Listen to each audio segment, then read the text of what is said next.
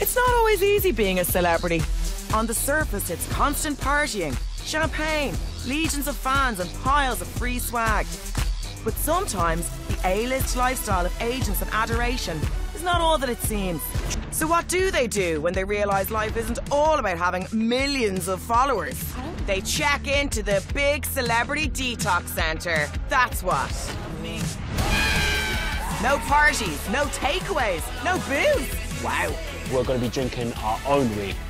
Correct. Oh my. No publicists to make it all go away. We need to stop, it's gone too far. And sometimes no clothes. I am good as I am. All under the watchful eye of international spiritual guide Sah D'Simone. Let a part of you die today. See you on the other side. They'll take on treatments from the cutting edge of health and detox. Oh my God. Some celebrities will fully embrace their journey. I really enjoyed that. It was really nice. Whilst others are in for a rocky road. I'm not mentally ready. I feel so ashamed, man. I'm really unhappy with who I am. But after 16 intense days, who will have a breakthrough? I'm reborn! I can't remember the last time I was actually myself. And who will have a breakdown? Welcome to a place for reflection, self development, and a safe haven for eight celebs to tackle their inner demons. This is their chance to be reborn, and it's all headed up by our internationally renowned spiritual guide. Am I back in the jungle? Thought I was going to a retreat. Next in is that comforting, familiar face. It's Kerry Katona. yeah! My name is Kerry Katona. My life story. Four sets of foster parents, became a pop star, married a pop star, got divorced, been bankrupt twice, five amazing children who are my everything. I feel a little bit of sadness of actually letting go of the past. I want to confront it, but I don't want to let it go completely. Because I, I so need this. I'm so happy you're here. OnlyFans all the way, baby. Yes. I love it. It's amazing what your tits can do, innit? Let's up the class level, shall we? It's Princess Olga Romanoff. Hello, good morning. I'm Olga. Olga, nice to meet you. The retreat's sixth guest is. Toby! Yeah, your man from Love Island. Olga, do you know who Toby is? Mm, but I don't watch soaps. I'm from Love Island. Oh, Yeah. no, I've never watched that. Sorry. It's a quiet taste. Like the smoothie. Last up, and this guy needs no introduction. I love this show. Um, in the chateau. No, that's Fred. Dickinson's real deal. Now they're all here. No better way to kick off the detox than with some light cardio. Up a hill, in search of a spiritual guide. Hello. Hello. Welcome. I'm really excited to meet the guru. I want to be spiritual guru. Am I saying it right? Guru. Welcome, welcome, welcome. I feel like I'm in assembly at school. My name is Sah D'Simone, and I'm your spiritual guide for the retreat. Yay! Here's what we're going to practice throughout the entire retreat.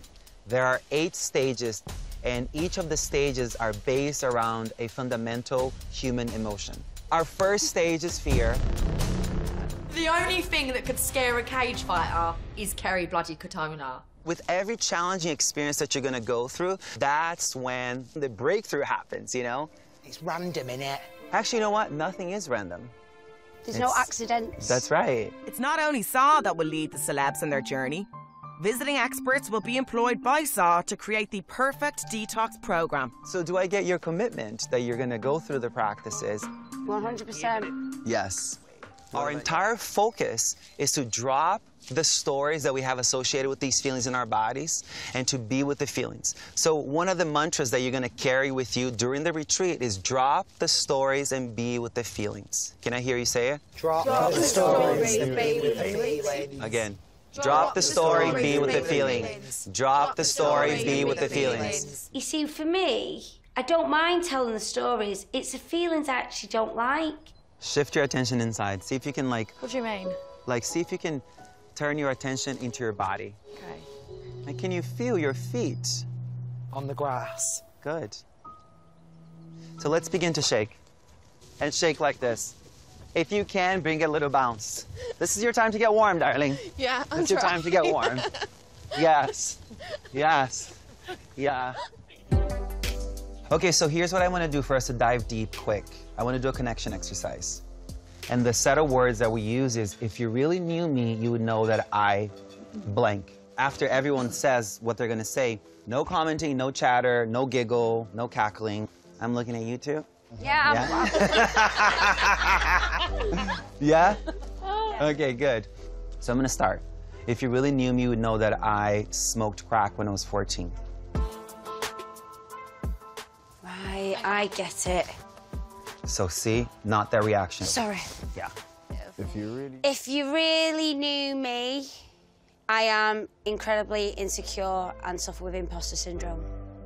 If you really knew me, you would know that I get anxious when I'm in crowds. If you really knew me, uh, you would know that I was really badly bullied as a child for being fat, and it's affected me for my whole life. If you Olga, what about you, darling? There's nothing really very hideous. Um, my background, um, just the odd little blip, you know, dead son. That's not a little blip. Well, it was a blip. I mean, it is now a blip. Oh, it was 34 years ago. Yeah.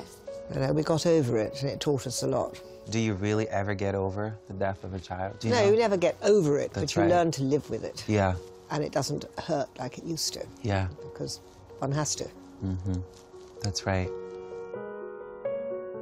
That's deep.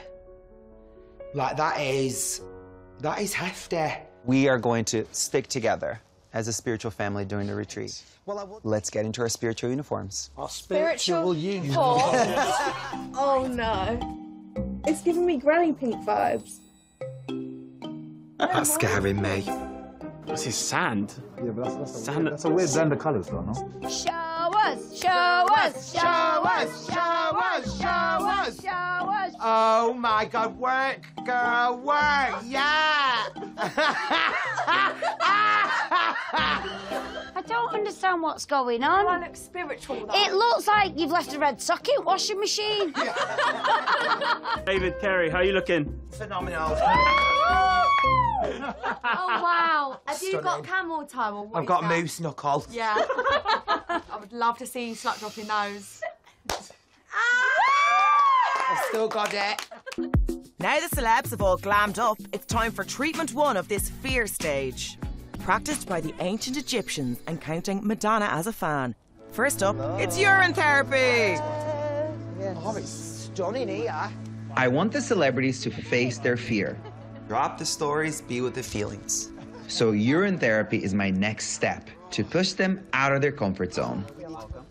Remember that I asked you all to collect your pee this morning? Yeah. Oh god, look at the table. Martin's colour.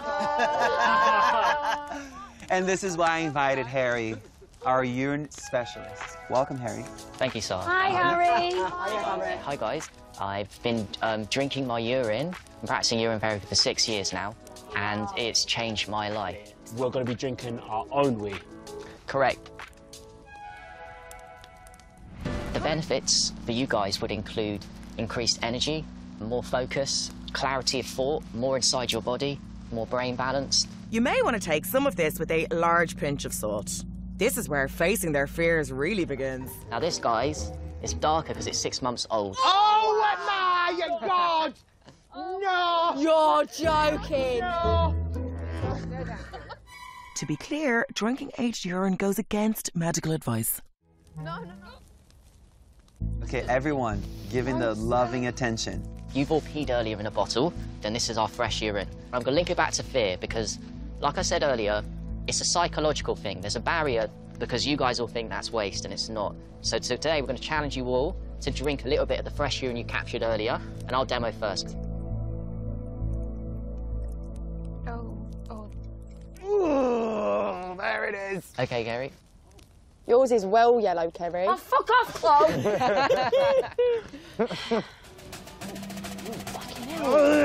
wow!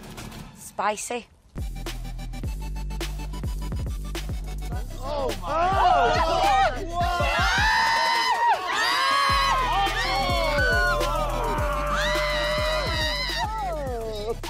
Jeez, wings. Well yeah. done, you. Well, we just drink Can I it. pour it on my tongue? What? That's a bit complicated. You can tip it down your front. Chloe, just take a sip. Down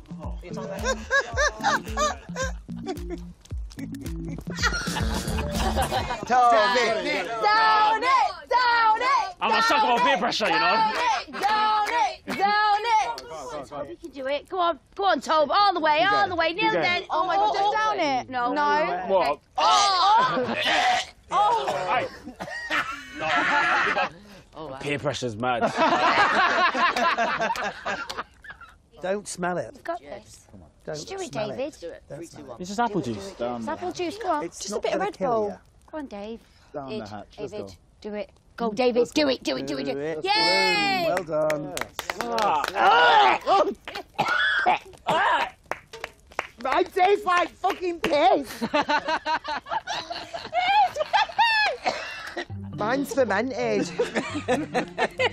Mine was like your worst. Should I taste a bit of yours? Oh I mean, my God, record no, this. no, I just no. want to see what it tastes like. You wanna taste them? I just want to see how bad it is. Oh my god. Absolutely. We need to stop. It's gone too far. No, go on. no, surely not. So it's not too bad to Oh, me. no, no, I think it's psychological, David. It's Not psychological, Have a Harry. Put that in your gob.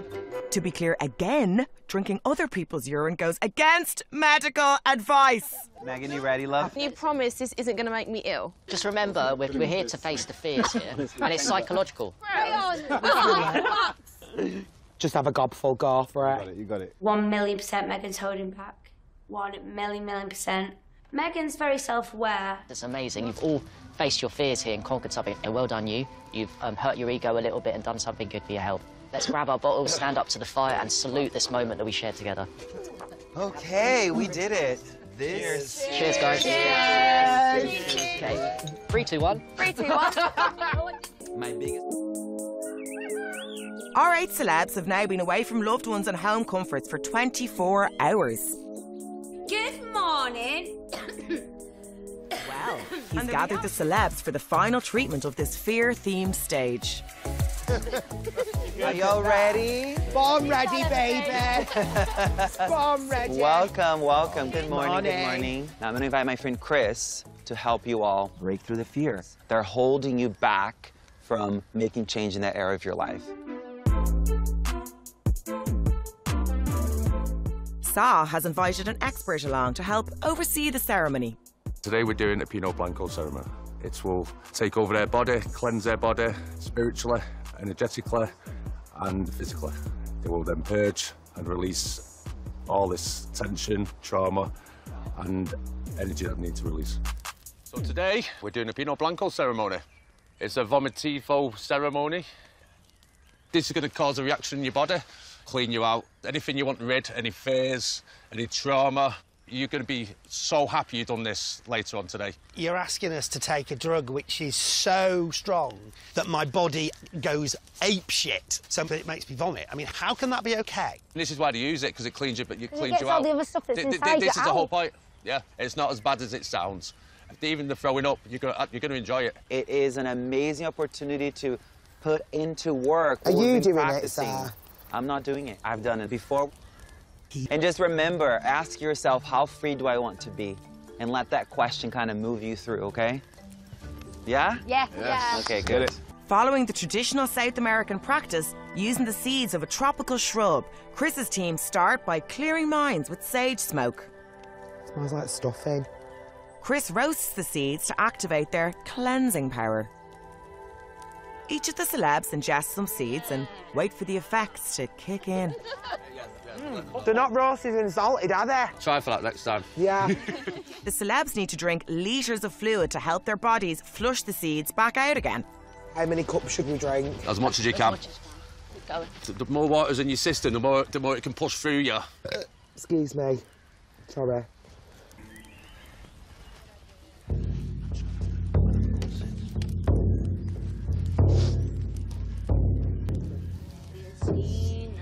Don't feel well. Oh, but I don't like not feeling well. Remember this empowerment you were saying about? Oh, they're not feeling well. We're going to put it all out now. Oh, no, I don't want it to come out. No, you do, because that's that's what everyone's put on you. It's a really good ceremony. You've got rid of all your seeds. You've had a good cleanse. I hope you feel different energetically. I hope you got rid of some fears or something you want to release. Well, thank you, everyone. Thank you. Bye.